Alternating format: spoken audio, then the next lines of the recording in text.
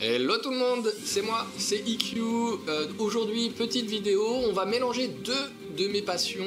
La première, Pokémon, la deuxième, le rétro gaming, avec Poké MMO, un jeu qui est gratuit, que vous pouvez installer sur votre PC. Euh, il faut faire quelques petites manips, on va voir ça ensemble, je vais tout vous expliquer. A tout de suite.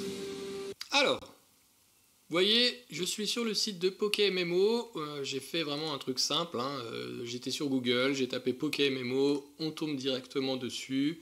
Vous devez en premier lieu vous inscrire. Inscris-toi maintenant. Tac.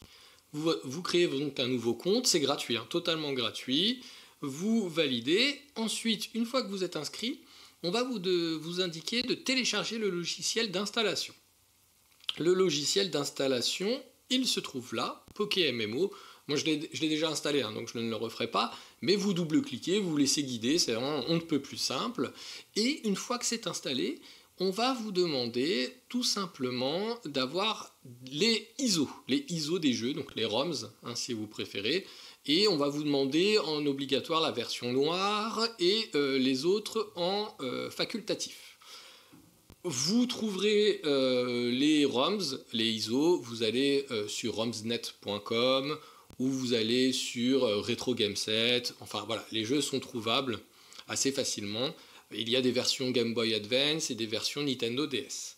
Une fois que vous avez téléchargé donc ces ISO, que vous les avez chargés sur le logiciel, hop, le jeu se lance et là, on va se retrouver ensemble sur ma partie. Donc voilà, là vous vous retrouvez exactement lorsque vous lancez le, logiciel, on va vous demander donc la langue du client, les ROM, donc bien j'avais dit noir, hein, mais c'est noir-blanc, euh, noir ou blanc, c'est vous qui choisissez, rouge feu, émeraude, platine et pareil or ou argent, les versions DS, d'accord. Une fois que vous avez tout chargé, donc c'est simple, hein, il y a écrit téléchargement et une fois que c'est euh, validé, il y a écrit info. Donc comme ça au moins vous voyez que c'est fait directement. Vous validez, hop, le jeu doit redémarrer. Donc là on retrouve notre bon, vieil ami euh, Zekrom. Donc vous voyez identifiant, le mot de passe est enregistré, on entre tout simplement, hop, et on se lance. Et là vous ne rêvez pas, j'ai bien Alligator, Salamèche, Arco, j'ai pas mal de starters donc dans mon équipe et là on se lance, on est tout de suite directement dans le jeu, ça va vite. On remarque donc que c'est bien du MMO puisque voilà, vous avez quelqu'un qui s'enfuit avec sa moto en feu, donc ça c'est vraiment le côté original donc du Pokémon MMO. On a sinon le vélo classique, on se balade avec, euh, notre euh, Pokémon euh, qu'on a, et on se balade donc si vous le souhaitez hein, de région en région. Donc là, vous avez la version or argent sur Nintendo DS. Je suis sur un plein écran, donc euh, c'est plutôt beau. On est là, pareil, hein, euh, côté euh, toujours équipe rétro gaming.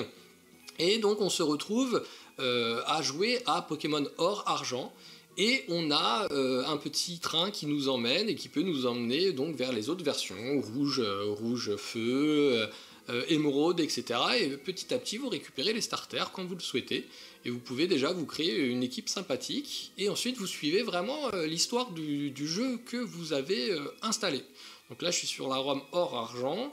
euh, Et donc je me retrouve à suivre l'histoire complète avec les légendaires et compagnie. Mais il y a des nouveautés un petit peu en plus, mis à part ce que je vous disais de récupérer les Pokémon que vous souhaitez. On est sur du MMO, donc il y a quand même une cap communauté, on va dire, qui est pas mal, hein, objectivement. Et donc on a euh, la boutique de cadeaux qui est là. On- vous pouvez aussi avoir les courriers, si vous envoyez des mails, jouer en équipe, centre d'échange de Pokémon euh, global, le Pokédex, PVP.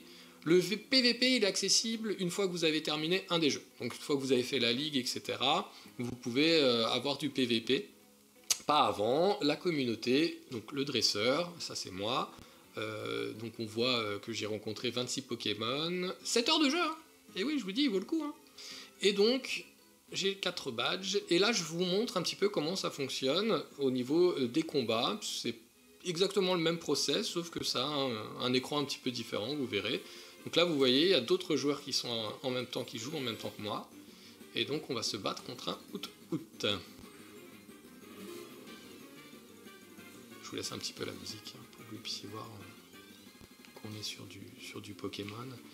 Et donc, hop, je vais aller essayer de l'attraper. J'ai un petit peu plus de chance maintenant euh, avec euh, les cartes que j'ai réussi à, avoir. Voilà, hop, attrapé. Pareil, les, les données, Pokédex. Voilà, on voit un petit peu. Donc là, vous voyez, il y a d'autres personnes.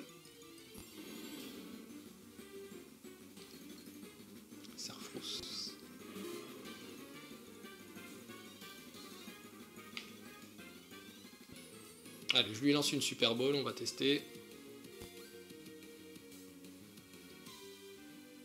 Voilà, on l'a attrapé.